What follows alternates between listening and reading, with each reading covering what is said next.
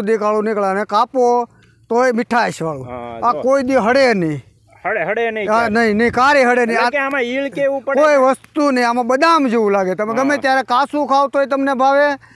તમને મોઢા મૂકો એટલે પાણી થઈ જાય. નમસ્કાર ખેડૂત મિત્રો ખેડૂતની ખેતી ચેનલમાં આપ સૌ ખેડૂત મિત્રોનું હાર્દિક સ્વાગત છે. ખેતીનો વિકાસ એ જ અમારું લક્ષ્ય એ અંતર્ગત આજે આપણે ગુજરાતના એક પ્રગતિશીલ ખેડૂતને મળવાનું છે અને એણે એક નવા જ પ્રકારની ખેતી કરી છે.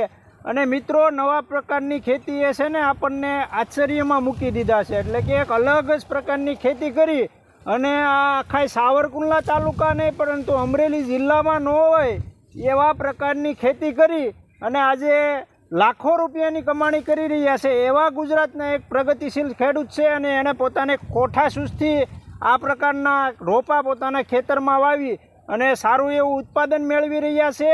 અને શ્રેષ્ઠમાં શ્રેષ્ઠ ફળ છે અને એ ફળ છે ને બીજે ક્યાંય તમને જોવાય નહીં મળે.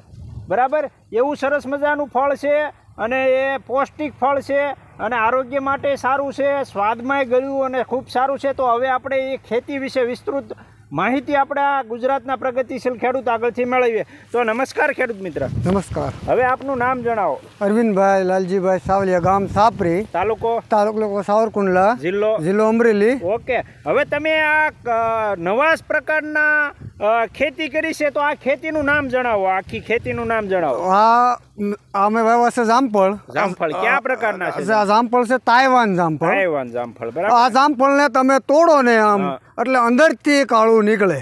ઠેર ઠેઠથી ઠેઠ સુધી કાળું નીકળે અને કાપો તોય મીઠાશ વાળું આ કોઈ દી હડે નહીં.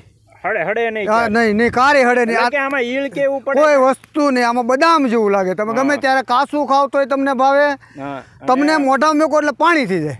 અને પાકલ હોય તોય. પાકલ હોય તો એથી વધારે મીઠું લાગે. અને તમે હાવ જેવો હાવ કૂણું ખાવ ને તોય તમને ભાવે. આ વસ્તુ તમે ખરીદી કરવા જઈ શકો. એટલે કે ખાવામાં બેસ્ટમાં બેસ્ટ બેસ્ટ બેસ્ટ ગમ કોઈ ફળ ન હોય એના કરતા હારામાં હારામાં હારું. અને બીજા નંબરમાં બીજા જામફળ આવે એના કરતા કેવો કાનો સ્વાદ કેવો કરે એનો સ્વાદ આનો સ્વાદ બધા જામફળ કરતા ટેસ્ટ આવે. એ જામફળ આપણી પાસે છે. પણ આગળના બગીચામાં છે. અને આનો કેવો આવે આનો હારામ હારો આવે. હવે તમે કુલ કેટલા વીઘાની અંદર તમે આ જામફળીની વાવેતર કર્યું છે? વીસ વીઘામાં. અને આ કેવા પ્રકારના જામફળ કહેવાય? તાઇવાન? તાઇવાન જામફળ કહેવાય. Taiwan Taiwan black. Taiwan black. એટલે કે કાળા બરાબર? કાળા. અંદરથી કાળા નીકળે બરાબર? ઠેઠ ઠેઠ સુધી કાળા. હા એટલે બારે કાળા સાંભળી થઈ જાય ને અંદરે કાળા રહે બરાબર? અને કેટલા વીઘામાં તમે આ વાવેતર કર્યું? વીસ વીઘામાં. અને વીસ વીઘાની અંદર તમે આ તાઇવાન જામફળીનું વાવેતર જે કર્યું છે બરાબર? એ તમને વિચાર કેમ આવ્યો કે બધા લોકો તો સફેદ ને લાલ જામફળ વાવે? પરંતુ તમે આ કાળા જામફળ કેમ પસંદ કર્યા? આને આની આવે હારી આવે.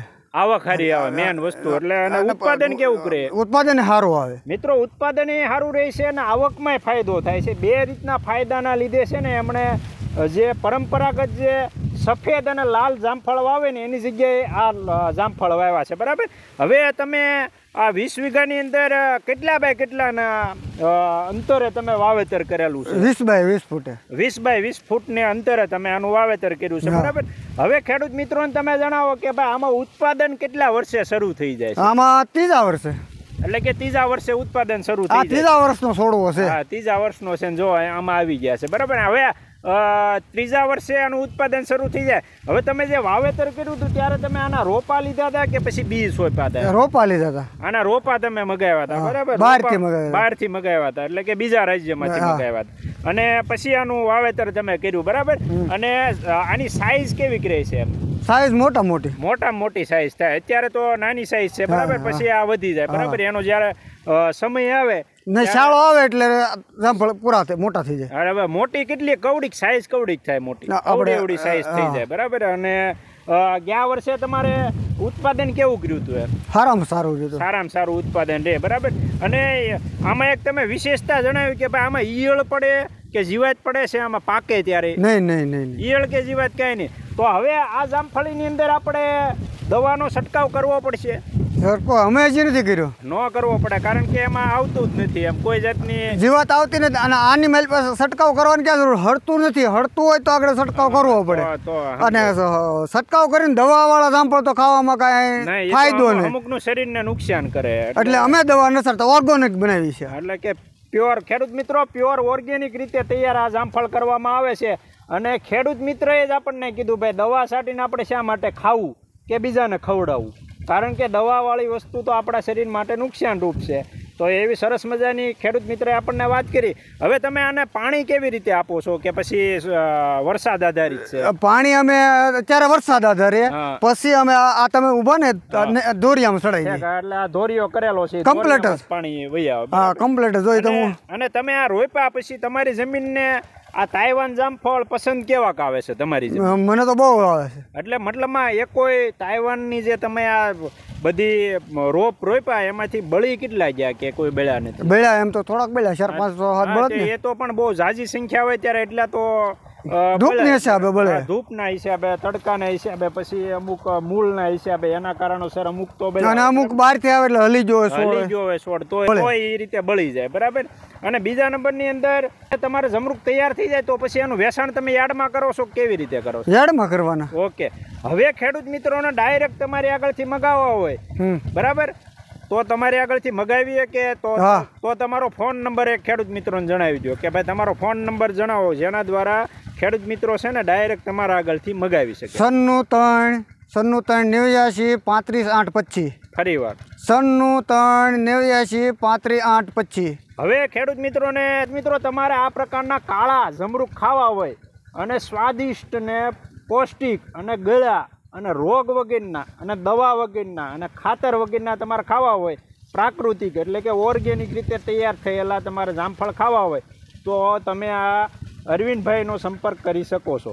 અને જેઓ ગુજરાતના પ્રગતિશીલ ખેડૂત છે અને સાવરકુંડલા તાલુકાનું ગામ છે, બરાબર? સાપરી.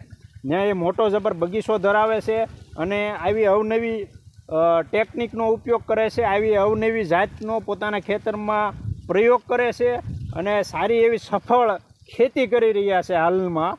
અને સારું એવું ઉત્પાદન પણ લઈ રહ્યા છે. તો હવે ખેડૂત મિત્રોને તમે જણાવો કે ભાઈ આ રોપાની કિંમત એક અંદાજિત કેટલી થાય અંદાજે દોઢસો રૂપિયા. દોઢસો રૂપિયાનો એક તમારો રોપો પડ્યો હતો બરાબર? તમે કેટલાક રોપ્યા હતા અંદાજિત? અંદાજે મેં રોપ્યા છે સસ્તો સસ્તો સોળ થઈ ગયા હતા. Okay okay. હવે જો આ રીતે આપણે છે ને ખેતરની અંદર છે ને નવા જ પ્રકારની ખેતી કરી અને આ પ્રગતિશીલ ખેડૂતે આપણને સરસ મજાની માહિતી આપી કે ભાઈ આપણે જે પરંપરાગત ખેતી છે એને અલવિદા કહી અને આપણે આવી નવા પ્રકારની ખેતી અપનાવીશું. તો આર્થિક રીતે આપણે સદ્ધર થઈશું. ત્યારબાદ આપણે કોઈ દવાનો છંટકાવ નહીં જરૂર પડે કોઈ ખાતર નહીં નાખવું પડે. ખાતર આમાં નાખ્યું તમે કોઈ? નહીં નહીં જો ખેડૂત મિત્રો ખાતરે નથી આપ્યું જરાય. અને કોઈ જાતની પેસ્ટિસાઇડ દવાએ નથી વાપરી. અને હાવ પ્રાકૃતિક છે એટલે કે હાવ ગાય આધારિત રીતે તૈયાર કરવામાં આવેલા છે આ જમરૂખ અને સ્વાદમાંય ખૂબ સારા છે બરાબર? અને સ્વાદિષ્ટ છે અને ઉત્પાદને સારું આવે છે. તો જો ખેડૂત મિત્રો તમને અમારો આ વીડિયો પસંદ આવ્યો હોય તો લાઇક કરો, શેર કરો અને કમેન્ટ કરો તથા અમારી ચેનલને જરૂરથી સબસ્ક્રાઈબ કરો. Thank you. આભાર.